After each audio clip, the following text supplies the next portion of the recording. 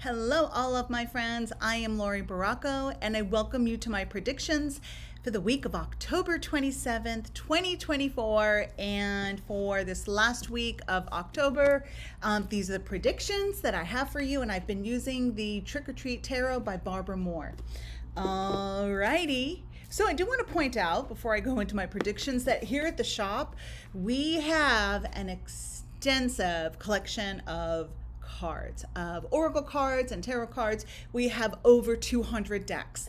And the unique thing that i want to point out is that we have demos for these decks. This way when you come in you can browse through the decks ask some questions and see if the messages the imagery and the little guidebook that comes with it to see if it resonates. So um, that's a little extra perk that we have at the shop here um, in Bonita. And so if you're shopping online, I'm sorry I don't have demo decks there, but you'll be able to see the photos of the um, the tarot and oracle decks in the online store. All right, let's see what we've got. We've got a card from the front, the middle, oh, and the middle. So I've, I grabbed three, one from the front and two from the middle. So the first one we have is the Emperor reversed. Then we have the Five of Wands. And then we have the Seven of Wands.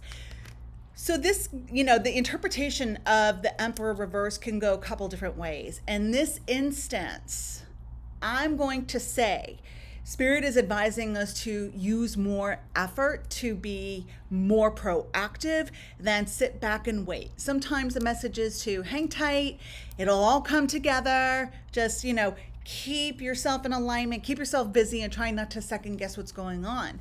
This week, I felt like the message is like, get on out there. You need to be more proactive, take action, get involved, and tweak things where things are not flowing. You might need to revise a few things. It's like having a recipe, right, from scratch. And so you're you're a lot within the process of mixing and creating this dish. At some point, you do need to taste it to see if it tastes right. If you have the right amounts of salt or sugar or carrots or whatever it is that you sometimes need to get in there and have that experience for yourself and take a little bit of a sample and then tweak it as you move along. So that is that message for this week. The Emperor reversed is saying that, hey, you're not being proactive as you could be right? You're kind of maybe being a little lazy or just wishing or hoping and setting your intentions with your manifestations. Spirit says that's not going to work this week.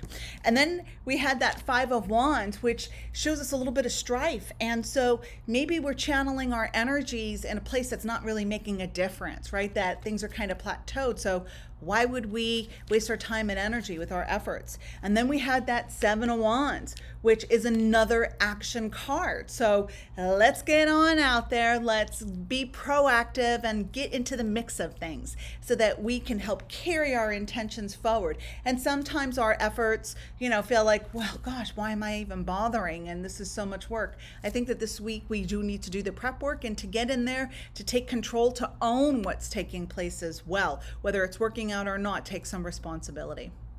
All right. Have a beautiful week, my friends. And don't forget, the veil is very thin at this time, so the connection to the other side is magnified. Get your journal out, light a candle to connect with your loved ones, and be open to the messages that you will be receiving and have been receiving. Thank you so much for tuning in each and every week. I am Laurie Barraco. Namaste.